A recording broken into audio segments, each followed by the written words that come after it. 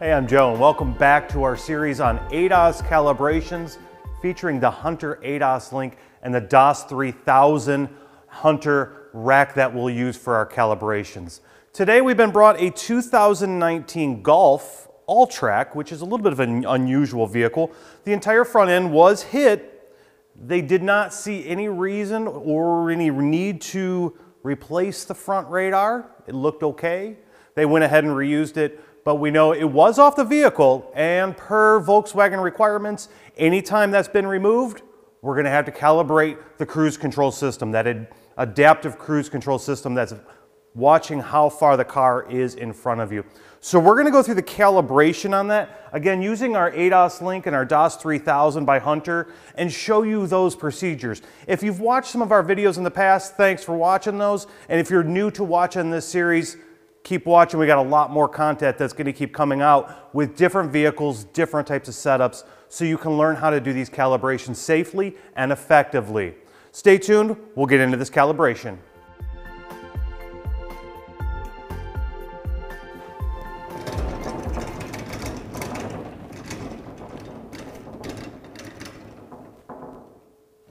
So we've got our VCI hooked up to our DLC already. We're going to go ahead and do our diagnostics and begin the calibration procedure of our front radar. Select Diagnostics. We're going to auto ID the VIN. And this is a Volkswagen Golf Alltrack S. I did look that up to verify that it was. So we're going to select that and it's asking us to cycle the ignition. Okay, we're in our diagnostic screen. We have a host of options here, but we are going to go into ADAS calibration here on the bottom that's starred. We have two choices at this point, camera or front-facing radar. This vehicle is equipped with a front-facing camera, but nothing was done with the windshield. That was intact. It was not serviced, moved, or the position changed, so we don't have to worry about that one.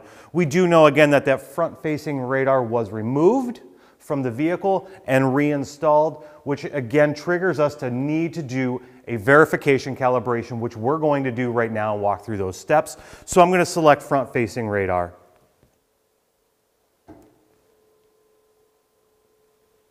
Right now the scan tool is just looking for the test available for this one. That's why I selected OK. And there it shows up as the ACC sensor adjustment, which is the one that we're going to perform right now. This is giving us a warning if we had an incorrect radio installed that it could damage the scan tool. This does have the factory radio, so we can select no that it does not have that style radio.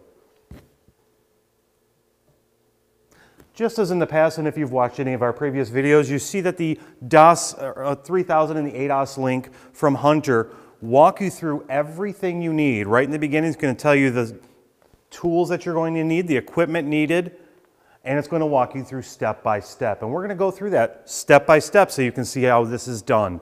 And you'll see on here the things that we need, which includes our rack, our targets for our rear wheels, and some other uh, different components that you'll see us use while we do this. Uh, required preconditions, key on, engine off, which we are, and our voltage is okay as well. Again, this function is used to calibrate the front radar sensor. We're going to press continue. If I press skip, it would just take us all the way without walking us step by step. But it is a good idea to go step by step so you can see how it's done, just as we have done in the past over and over again, so you can see each step of the way so you don't miss anything. Again, if this is performed when a sensor is reinstalled after removal, new sensor installed, the front bumper was removed or replaced. So far, we're two out of three on those. Uh, nearby parts are impacted. Again, now we're three out of four. Um, we don't have any DTCs right now, and uh, alignment or suspension work has been performed. They said the alignment was checked and verified to be correct before they brought it over to me for the diagnostics and the actual calibration. And again, required preconditions are very important when it comes to ADAS calibrations. Vehicle must be on a level surface, which we are. Properly aligned, it is. I've got a good alignment done. Uh, make sure front radar sensors correctly installed. As far as I know, uh, they have been installed correctly, and that's why we're going to calibrate it. Make sure the radar sensor is not dirty. The radar sensor is located directly behind the Volkswagen emblem on the front of this vehicle. I already wiped it down to make sure. Didn't come far from the body shop and it was a little bit rainy out, but I did go ahead and wipe that off. uh, free of metal objects and remove all excess weight from the vehicle. Now you will notice this one does have a cargo topper on the actual roof rack itself. It is empty and the weight of that is extremely minimal, so we should be okay just leaving the shell on top of the car. So here's what we're going to need. We're going to get ready to start this, and it's going to have us position our ADAS link and start hooking up our cameras. Connect the camera to the laptop or tablet.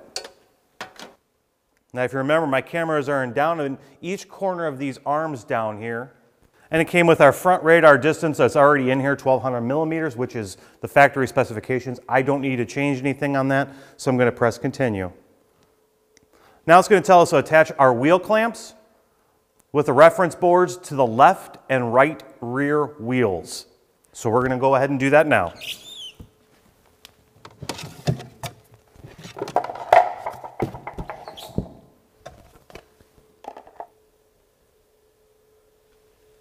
There are some bubble level indicators on those. Make sure that those are properly set as well. So we have it done attached our wheel clamps under our wheels with our reference boards.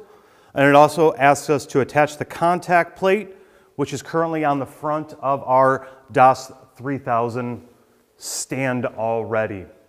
So we can press continue.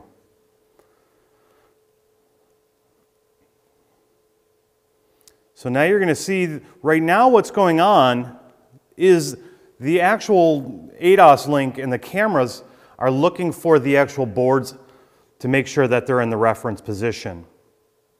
And it's asking us now to push the DAS 3000 all the way to the bumper. The contact plate in the front must touch the bumper.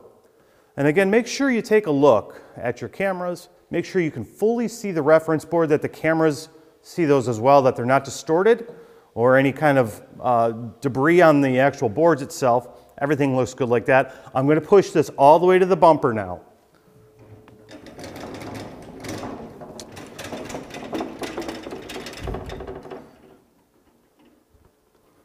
Nice and slow and kind of center it with your emblem. I'm all the way in the position now. I can press continue. So now what it's asking us to do is place the DAS 3000 in the required position, which is going to have us moving it backwards. We have our target on our screen.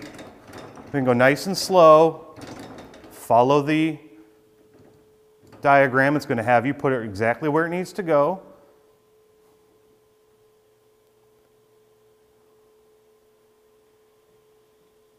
It can be a little tricky, these last little centimeters you need. Once you've got the check mark in place,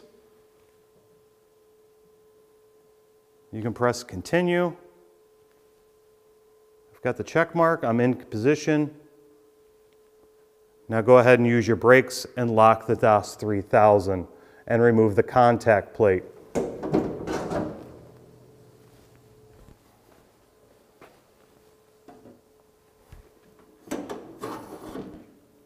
So here was our contact plate, nice and we didn't we won't damage the bumper when we touch it with this and that's another really nice feature of that.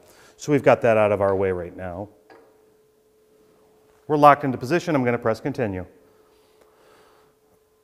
All right, now it's going to tell us to install our target board and our board hanger, which is the R on the side of my machine. I've got the R right here. This is what I need. And I'm going to be attaching it to the front with my target board vertically, and we're going to center it and lock it into place.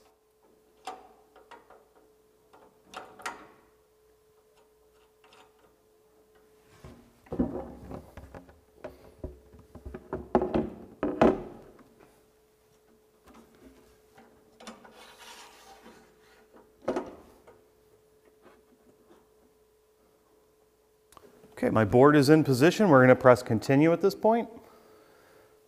We're going to center the dual board by sliding horizontally to the left or right on the lower crossbar to get it centered.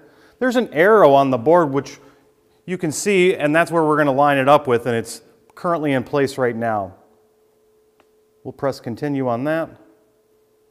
Next is asking to make sure that our target board is level using our tilting level or tilting arm right here This screws in and out. We're gonna check it on the bubble level over here and verify that we're nice and level, the board's straight up and down. It will affect the calibration if it's not. So make sure you take the time to make sure it's level. We have it set, we're level now, and we'll press continue. Now it's asking us to remove the scan tool from the platform, disconnect our USB, and step away from the calibration area. At this point, the calibration has completed successfully. As always, it is important to test drive the vehicle and verify the operation of the system before returning the vehicle to the customer. But what would happen if the calibration failed? What would be a good diagnostic approach? Well, stay tuned for the next video where we go over a failed calibration on this same Volkswagen. Thanks for watching. We'll see you next time.